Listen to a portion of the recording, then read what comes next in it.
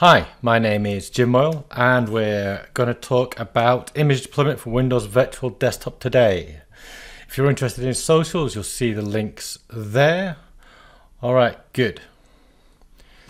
So, we're talking about Windows Virtual Desktop, the Azure only desktop as a service, and we're going to have a look at cloud-based image deployment. So, we're not going to run up a whole lot of SCCM instances or anything like that. This is all going to be cloud-based. Today we're going to have a look at Packer and how you can combine Packer with the uh, shared image gallery on Windows Virtual Desktop. This will also work for other types of images as well. It's just that mainly I deal with WVD, so that's what I'm going to talk about today. Inside our resource group here, we have got one VM which is just a standard Windows 10 VM, fairly brand new deployed, and a shared image gallery. We'll talk about that shared image gallery in a little bit. Inside that VM, we've got um, essentially VS Code and Packer installed. Now, you don't need VS Code to run Packer, but it's dead handy in terms of um, JSON and any PowerShell you want to run. Um, all the files here will be available in my associated GitHub repository, which is linked there. I shall also link it in the description of the video. In order to deploy a golden image using Packer into Azure, we need this VM. We need an installation of Packer on this VM, and we need a JSON file. And that's it. So let's have a quick look at the JSON file.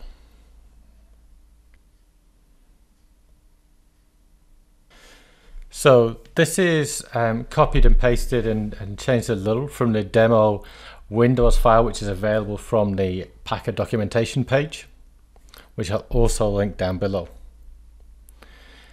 We can see this type instead of Packer, the JSON is going to tell it to communicate with Azure and to communicate with Azure using uh, ARM.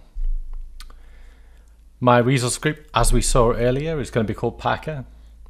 And I'm just going to call it my demo Windows image when that actually ends up in my resource group. The OS type I'm using is Windows. And because we're talking about WVD, so Microsoft Windows Desktop, it's going to be the um, uh, Windows 10 multi-session with Office 365 installed and it's going to be the latest SKU. Packers are going to communicate with that VM, uh, VM over WinRM and I'm going to put it into UK South over a standard DS2 uh, instead of standard DS2 uh, V2 VM. Now that VM, we're not going to end up with a VM because we want to end up with a managed image. That's the VM that Pack is going to use uh, to stage that image, configure it, and then um, put it into a managed image.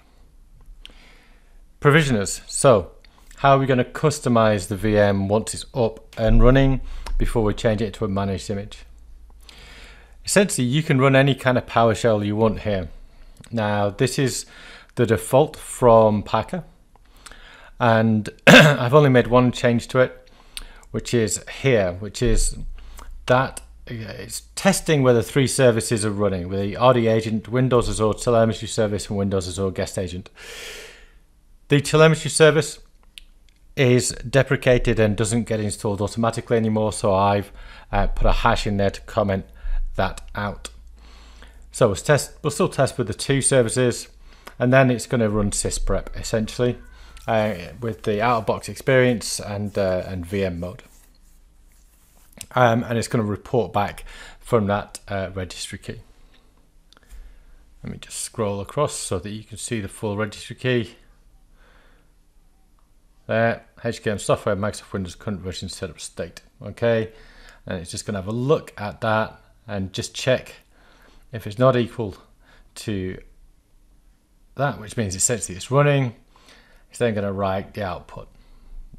Essentially, it's going to look at that key and write the output of the key. that is the absolute base that you need to do it. Now, in a lot of uh, JSON files, it, it will um, include a connection. It isn't here because I've got on this VM in Azure managed identity, and I've given that VM managed identity contributor writing, um, rights on my subscription. Normally I wouldn't do something like that, but it makes things easier, and this is just my uh, test lab, so I'm I'm fine with that. There's all sorts of other authentication possibilities. You can look into those separately. We're not going to cover those other authentication methods today. All right, so let's get on with the demo. Um, I need to be connected and authorized to Azure. And I am. That's good. Now we're going to have a look at some other things. So in backing.json, okay, we've got OS type, image publisher, blah, blah, blah. I want to just verify that that's all correct. And I want to find a way to make sure I'm getting the latest version of the image that I want. All right, so I'm just going to set those variables. And we're going to get a SKU from that. So essentially, we're looking for that publisher and that location and that offer. And we're looking for where those SKUs match star EVD star. And we've got a few here. And we can see there's various iterations of Windows 10. Now I want the latest one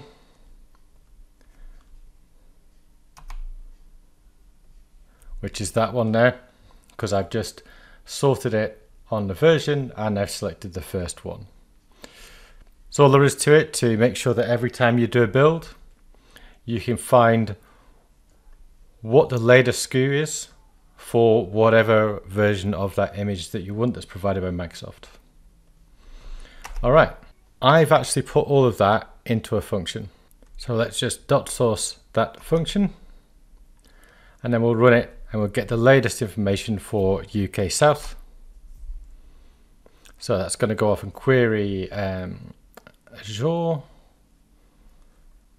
And we see we're returning the correct information for UK South. So that's just a simple way of getting the latest uh, um, image version into your JSON file.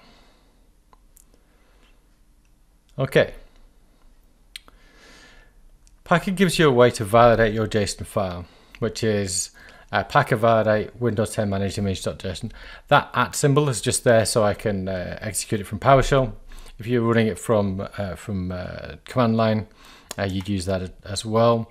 But you could run it from the CMD um, if you wish, and you wouldn't need that at.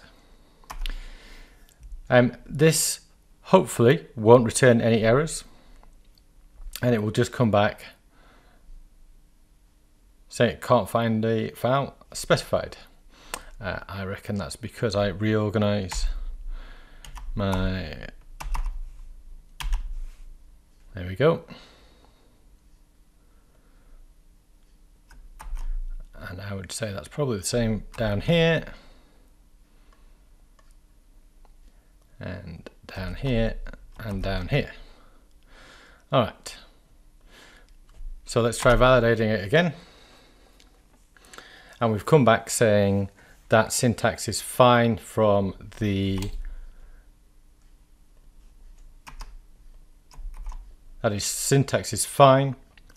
Now what we're going to do is we're going to use that JSON and use packer build and the path to that JSON. I know we've done a few things here, but really all you need to be is authenticated to Azure, have the Packer application installed, and have a JSON file that's got the right stuff in it. That's it. Super simple. All right, so we're just going to start that. We're going to expand the, uh, the terminal a little bit. Now we're saying we're going to create a resource group And we can see we have created a resource group here. It's got a random name attached to it. And um, that's fine. So this is a staging resource group that Packer uses to um, create the VM in. As you can see, it's created a key vault. We'll have a look at what it creates in a second because it's just going to try and deploy everything else.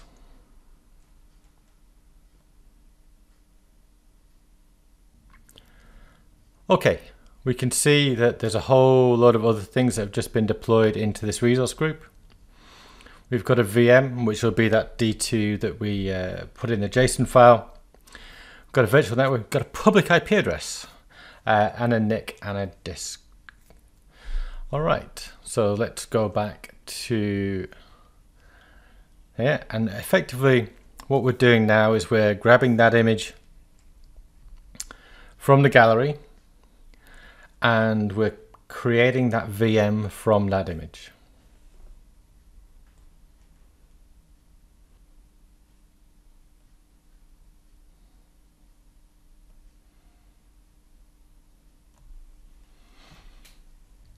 Now we're connected to WinRM and effectively we're customizing that image. Now then, as soon as we've customized that image, remember we were going to check a few services and sysprep it. We could have run anything else at that point. Um, we could have installed whatever applications we wish, as long as you could do it in PowerShell. Then you can do it in the customization phase. And now we're just powering off the VM, ready to turn it into an image. Now we've powered off, we're capturing the image,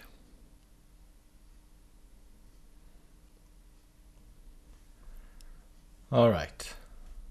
And we're actually cleaning up now, so we're going to start removing uh, this resource group, as we can see underneath there.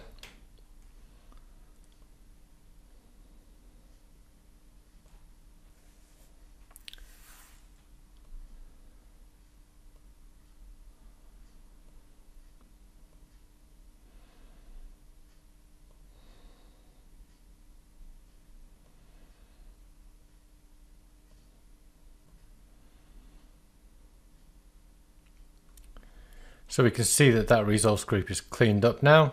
All right, let's go back to the Packer resource group. And we can see that we've got a my demo Windows image, which is what we configured in that JSON previously. All right, we can see underneath that that script is finished after the cleanup all in all, and I've sped this up for you obviously, that uh, process took about 10 minutes to complete. Uh, let's just do a quick test. Let's uh, create a VM from, uh, from that image. Uh, again, I'll speed this up for you.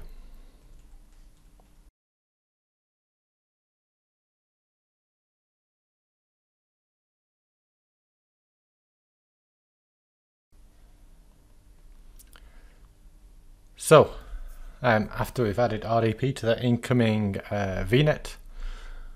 Just logged on to this uh, Windows 10 machine for the very first time after creating it from the image.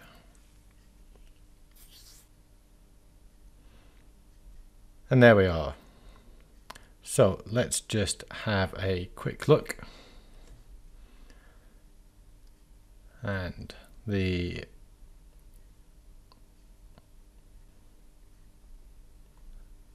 this service.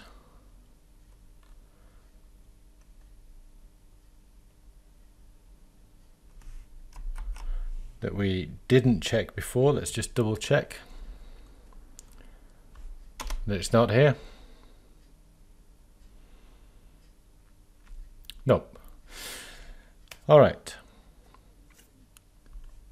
I think we can safely shut this VM down now and get rid of it We've demonstrated how to deploy a Windows 10 multi-session VM with Office 365 to a managed image. Let's say we wanted to do it to the shared image gallery. I've essentially copy and pasted the JSON and then added a couple of lines here. That's to tell it the shared image gallery. Now, remember when we looked at the resource group at the start, we had a shared image gallery. That's that one right there. So, let's do the shared image gallery. One of the things that we need in the shared image gallery is an image definition that matches the OS we're going to deploy. This isn't deployed as part of the Packer job, so you have to set this up yourself. You could either do it in the GUI, or like I've got um, shown here, you can do it in PowerShell. So these are all the parameters for the command, which I'm just going to put in a variable. And then I'm going to splat those uh, to the new gallery image definition. It's just a way to get everything on screen nice and easily. So that's now going to go talk to Azure and set up a new image definition in that shared image gallery. And as soon as that's finished, what we'll do is we'll do exactly the, what we did before. We'll validate our JSON and then we'll build our new image. All right, that's finished.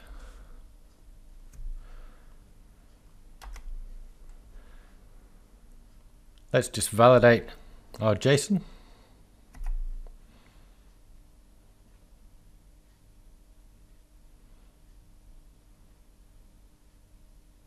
Packer likes it, that's great. And we'll do the build. Again, I'm going to massively speed this up.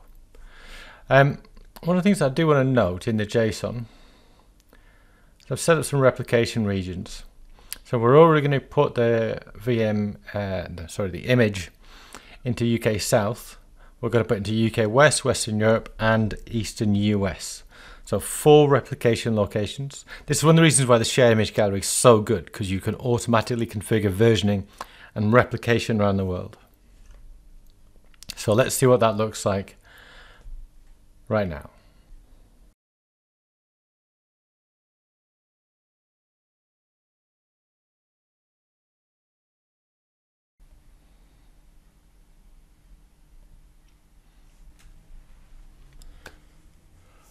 So we can see that the image has now been replicated inside the uh, shared image gallery.